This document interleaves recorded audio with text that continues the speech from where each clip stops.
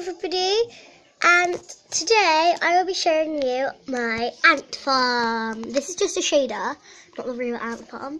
As you can see, there might be some ants if I can focus the camera.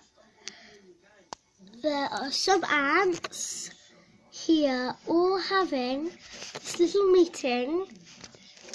trying to focus my camera, but it's quite blurry.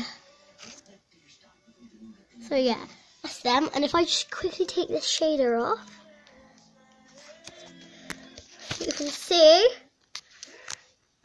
that here they have made this hole going all down to the bottom.